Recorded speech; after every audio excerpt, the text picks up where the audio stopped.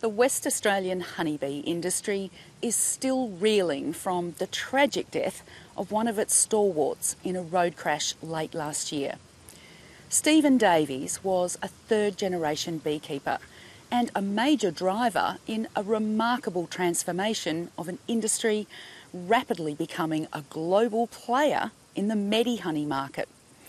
The state's unique jarrah and other forests are producing honey with even stronger antimicrobial properties than New Zealand's Manuka honey, which is a billion dollar business across the Tasman. Sean Murphy has this special report on the West's liquid gold rush.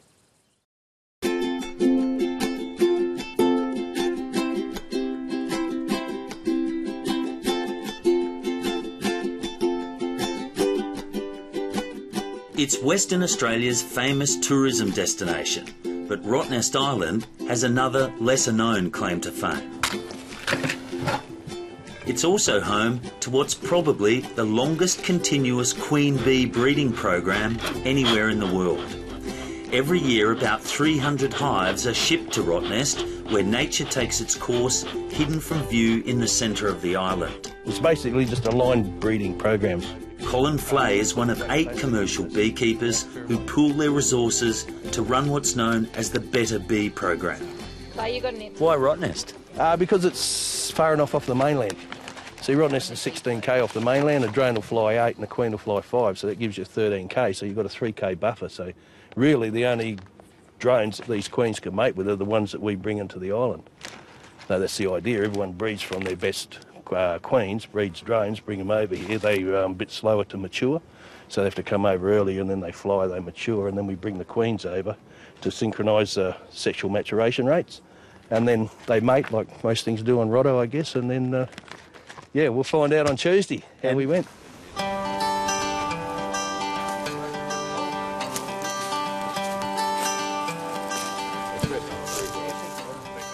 Back on the mainland, the queens are sorted to sustain an industry which has been closed to the rest of Australia for 40 years. The breeding program was started by the Department of Agriculture in 1980 because quarantine restrictions meant queens could no longer be sourced from the eastern states. There's a disease outbreak in South Australia called European foul brood, and the Department of Agriculture at the time didn't want to uh, get that disease into Western Australia, the department got stock donated from the industry and we established 20 breeding lines from the best stock that they donated. And once that was established, we used artificial insemination and homogenised semen to select the best queens in the program. Lee Allen started the program and now in retirement is still a keen participant. Well, as long as I can stand and, and keep going, I'll be, I'll be right here. Well, you can just go to the top of the class, Miss Bates. After nearly 40 years of continuous genetic improvement, the program's queens are renowned for their calm temperament and ability to breed bees producing nearly double the global average of honey per hive. When we have brood capped, that means that the queen is the correct age and she's the right lineage. And so we can clip her wing not too high, otherwise she bleeds and let me just concentrate while I do this. And then we mark her as well, just it's easy to find the queen in a big box if she's marked. Tiffany Bates has been breeding queens for the last six years for the University of WA. The best are worth up to $1,200 each, but most of the Rottnest queens are kept by the beekeepers in the program. Mark her up. Well, she's the breeder, really. So some people think that she's running things. That seems to not be the case. She can lay 2,000 eggs a day. She also pumps pheromones out from all different parts of her body, her feet, her abdomen, and the bees check on those pheromones all the time to make sure she's functioning properly. And if she's not, they'll supersede her, they'll make a new one. So it's a pretty ruthless situation. Um, but her job basically is just laying eggs and making sure that she's keeping the colony running in terms of pheromone production. So healthy queen, healthy hive? Absolutely. Yep. Young queen also makes a really big difference. If the queen's getting a bit old, um, the colony will start to be less productive and less disease resistant. And you just put her back. She'll smell a bit like my fingers. The bees question her when she goes in, but then she's okay. It's not just the breeding program in WA that stands the industry apart here. Bioactive honey from the state's unique jarrah and other forests has been discovered by the world, sparking a liquid gold rush. Oh yeah, they're all coming in now, mate. As soon as people realise the worth of the product, because you know it sells itself. If you've got a good product that has major health benefits, well, then people are going to want it. And if there's a market that's quite, you know, got a, quite a premium on it due to the, you know, compared to the normal price of honey. It certainly is a big boost for uh, people that have been bumping along the bottom for quite some time.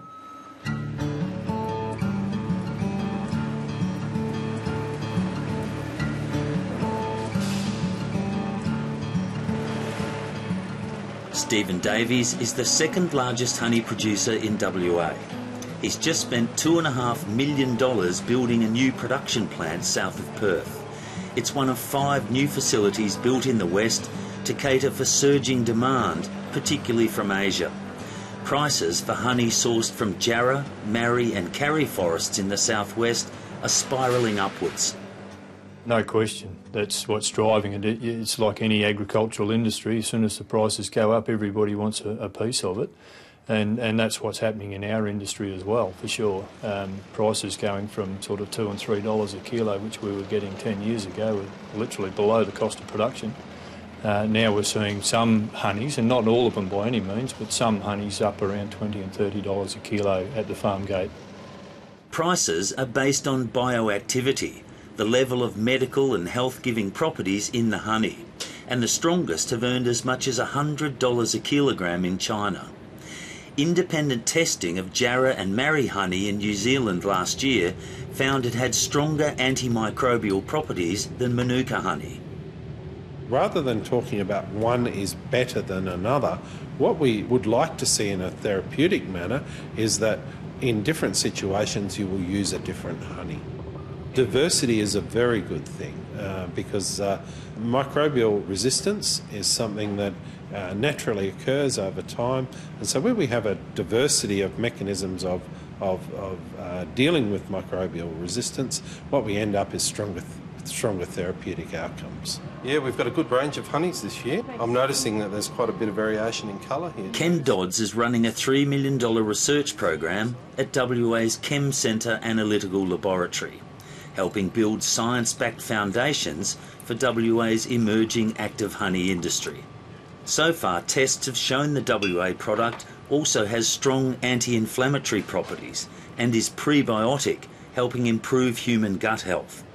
Key to the research will be creating a certification system for the varied range of bioactivity in the forest honeys. Really, what I'm doing is helping them produce something uh, more consistently and more clearly identifying for them the key attributes of those honey that they can then use in their marketing. And then the Chemistry Centre, of course, is providing the international certification that gives the credibility that enables them to get a really good price for the, their product.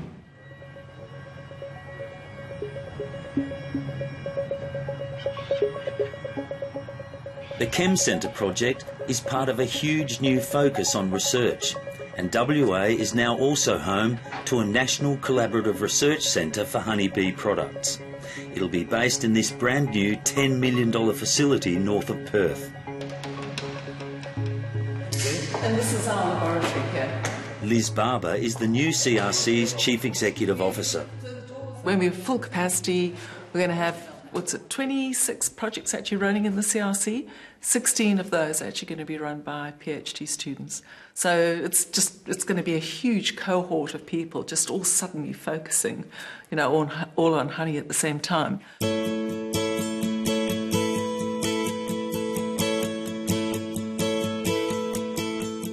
The research will target areas such as bee health and nutrition, beekeeper training, traceability, and chain of custody fraud protection. What it does is that it actually connects us with everything that's happening internationally. And that's the most important thing is keeping an eye on that we can actually translate immediately of something we see out there that we can actually bring to Australia and actually incorporate it in what we're doing. So that's what what's so great about being a cooperative research centre is you're very hands-on. You know, it's not you do the research and you isolate it in the laboratory.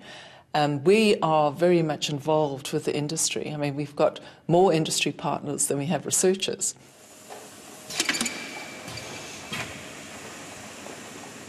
Australia's biggest honey producer, Capilano, bought into the WA market in 2013 and is now the state's biggest producer.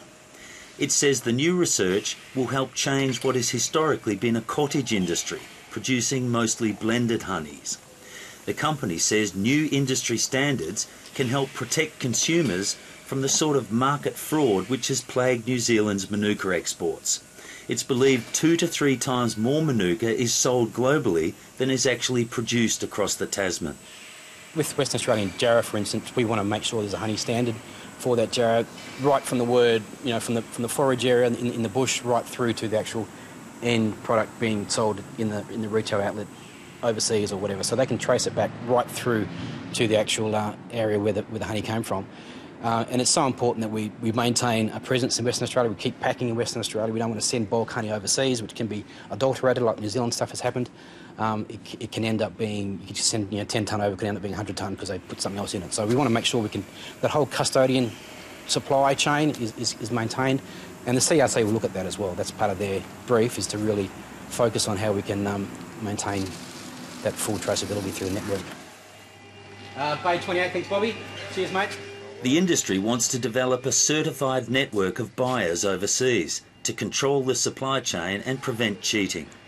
But for now, the priority is trying to increase supply. Jarrah and other forest honeys only make up 10% of Capilano's production. We want to triple this industry in Western Australia. We, in terms of supply, South Australia is 19% of national, WA is only 7% of national, so we really are under, underproducing Western Australia. Hobby hives are popping up all over Perth. Even Parliament House has some. While supply has remained reasonably static, beekeeper numbers have grown dramatically in WA on the back of a hobby sector bonanza. Membership of the WA Apiarists Association grew from 350 to 1200 in 12 months.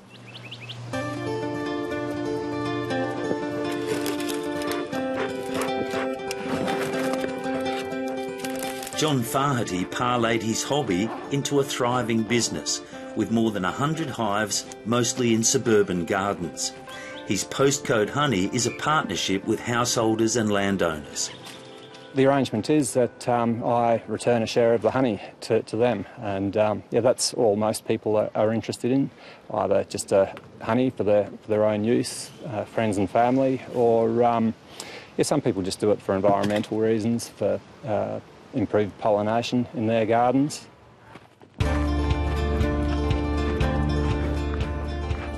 The reality for most amateur beekeepers is that it's a huge leap from tending a few hives at home to running a commercial business. Simon Green took that step six years ago, and while he is tapping into the lucrative forest honey market, it's not easy. Oh, I wish it was. You know, all you need to do is drive down the road, find a patch of bush, and put your beehives there, and all of a sudden you're picking up, you know, two, three kilos of liquid gold per day per hive the reality is not that. The reality is you need to find places to put your bees. You know, you got to. Your site selection is paramount. To find those sites and keep his bees healthy and productive, Simon Green has to truck his 350 hives hundreds of kilometres in search of flowering trees and bushes. He's part of a new research project using satellite technology to keep track of how much honey his bees are producing. When I wake up in the morning, I can turn on my phone, I can see how heavy that hive is. At lunchtime, I know how many bees have left the hive. By dinner time, I know how many bees have come back and how much honey they've put on for the day. If we get to a downturn in yield, then we know we need to find a new site to move those hives. So just the saving of one day honey production per site can mean the difference of, you know, tonnes a year to us. Camera cap off. Yep, that helps. Finding productive sites at the right time is a challenge because jarrah trees only flower every second year. Now the Chem Centre has also combined with Curtin University's Remote Sensing and Satellite Research Group to track when and where the forests are flowering. Drones are being used to calibrate the data, potentially saving beekeepers huge amounts of time and money. And, uh, yeah, a couple of nice trees over there, good, good height, good flower mm. buds. The drone project is, is very important because uh, one of the things that beekeepers run into is the amount of distance that they have to cover to service hives. And so if they can get uh, important information that says this zone over here is ready to have a, have a, uh, a hive put on it and, and a hive can be put there at that optimal time, then we get much more efficient use of the hives.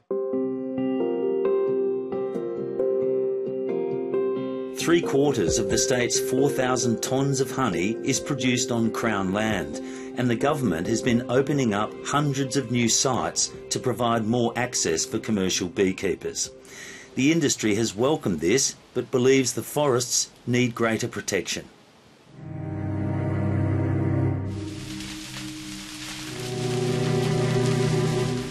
Every year, tens of thousands of hectares are deliberately burned to reduce the fuel load and prevent uncontrollable fires. The reality is, is they're doing millions of dollars of damage to our industry every day.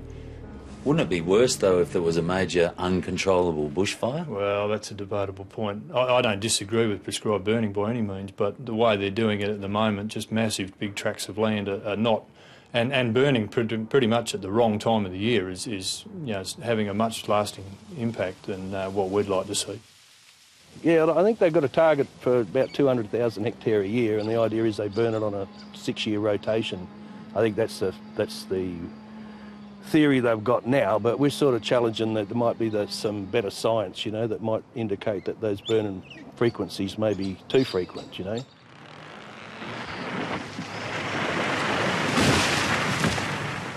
WA's old growth forests have yielded some of the world's finest hardwood timber.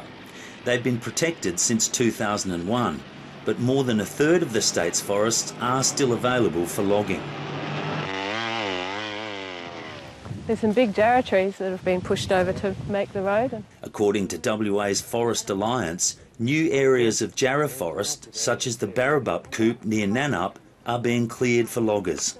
So you can see here they've cleared maybe two, three hectares, um, and as it's turned out, parts of the work that they've done here pushing all of this forest over was actually old growth. How typical is this? How vulnerable are the jarrah forests? Well, about 7,000 hectares was logged last year, uh, just in the Jarrah forest, and about a further 1,000 hectares was cleared for bauxite mining.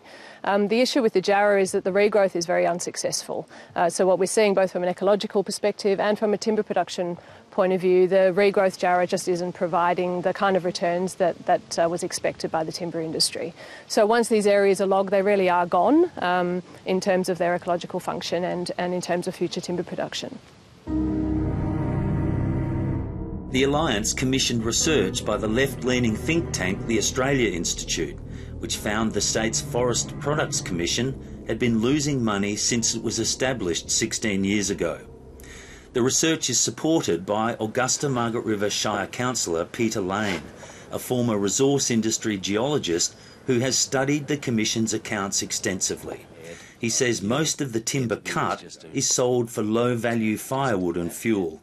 Over the last five years, they've logged about 2.6 million tonnes of logs and recorded a loss of $46 million. Well, the Forest Products Commission has never accepted that analysis. Um, and obviously, it's something that you know we need to keep uh, an eye on. Alannah MacTiernan is WA's Minister for Agriculture and Regional Development. She says the Forest Products Commission is confident beekeeping and logging can coexist, but ultimately it'll come down to economics. We're very conscious we do need to keep jobs in regional areas, but we're you know, we're not approaching this ideologically. We will see what is going to give us the best return and generate the most jobs. She says the government is excited by the honeybee industry's potential, with Manuka plantations now in development and more research going into the state's unique flora. We've got the whole rest of this state.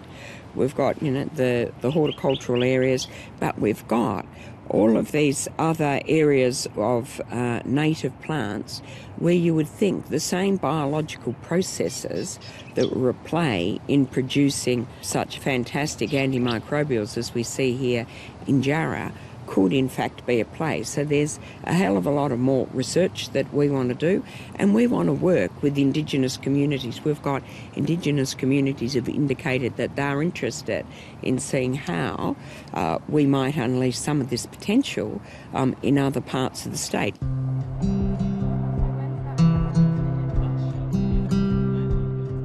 The biggest risk to the industry is biosecurity, and the state is relying on border controls and nearly 50 sentinel hives like this one near Fremantle. They're the first line of defence against introduced pests such as the varroa mite, which has devastated honeybee populations all over the world. Even with the best biosecurity measures, Australia is extremely vulnerable to the varroa mite. In fact, one international expert says it's a matter of when, not if, there's an incursion here. You know, it's got to every other country in the world. Um, we live in a global community. Um, huge amounts of um, commodities are shipped around the world, and so it's just a matter of, you know, it will arrive at some point. Professor Stephen Martin is an international expert on bees and was the keynote speaker at the Queensland Industries Conference last year. He said varroa mite was a huge threat to Australia's bee populations, but it could be managed. It's killed millions of colonies. Um, everywhere it goes, there is a change in beekeeping, a change in attitude. You now have to start controlling uh, the mites. That involves putting pesticides into the colonies. Um, countries that didn't um, decide to treat I think Czechoslovakia was one example, and uh, it lost uh, you know over a million colonies. Uh, almost all the colonies disappeared. Um, the other huge impact of the varroa mite is you lose all your feral colonies. Um, so it, it changes things, and you rely more heavily on the beekeepers to keep the bees going. Professor Martin said international research was now centred on varroa resistant bees in Brazil and Africa to try to understand the genetics and breed immunity into bee colonies.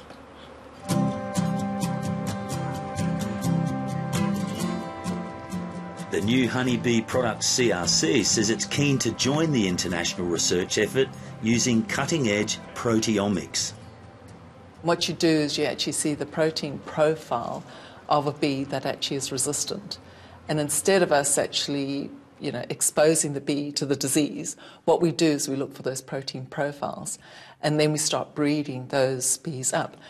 And of course, the big advantage is, of course, we've got one of the oldest breeding programs, you know, here in Western Australia.